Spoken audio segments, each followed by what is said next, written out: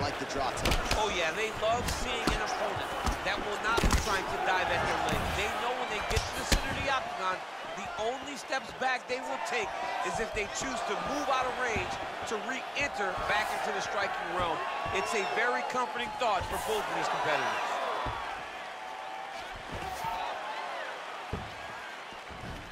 Slips. Oh, effective strike there by Allen. Well, perhaps a sign of things to come as he lands a kick there. Nice kick landed by this gentleman. Oh, nice land there with the punch. You see, he's taking advantage of what is an obvious edge and reach. Just out of range with that right hand.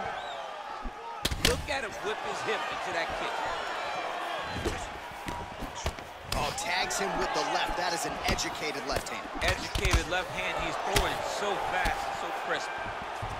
Uh, lands a good series of kicks there, DC. It really didn't take him long to get a good beat on his opponent. He he didn't like that left hand. He needs to start looking to finish now because he's got his opponent hurt very bad.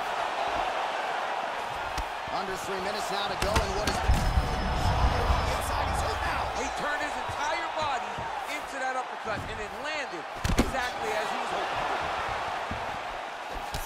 So just over 20 total strikes have now landed for Cody Garbrandt.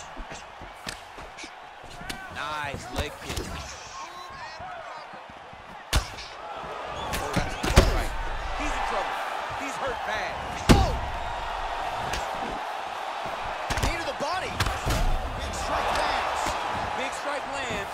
Now he looks to try to chase down that finish. Oh! Garbrandt gets up again here, but he looks hurt. What a Able to land to the body there with the left kick. Looked like it did stun him a little bit. What a fantastic strike. Oh, he just hurt him. He just hurt him. Back to the feet. That one landed clean.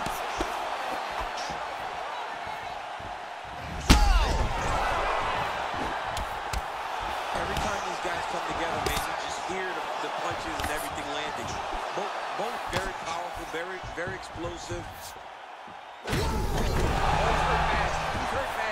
He's got to press. He's got to take that finish Biggest out. strike as he has landed thus far tonight. Big, massive shot lands. Look at how tough his opponent is, though.